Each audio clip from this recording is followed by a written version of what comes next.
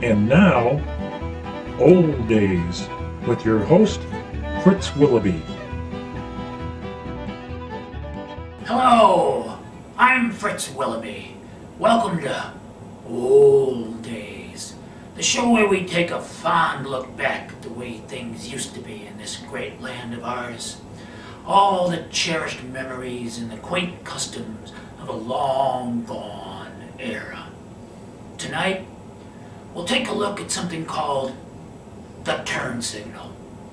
Now I know all you youngsters out there asking yourselves, what the heck does Fritz mean when he says the turn signal? Is that some fancy app I can get in my iPhone?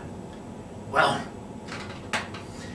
if you ask your dad, or maybe your granddad, he'll tell you that once upon a time, the turn signal was something you used in your automobile. Was sort of a polite way to let the folks driving around you know when you were going to go from one street to another. Also made things safer for pedestrians.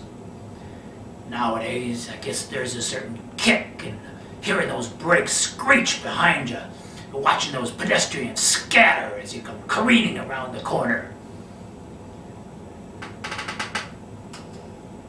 But that's not the way it used to be.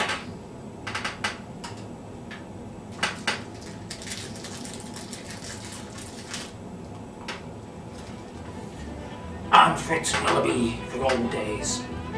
See you next time.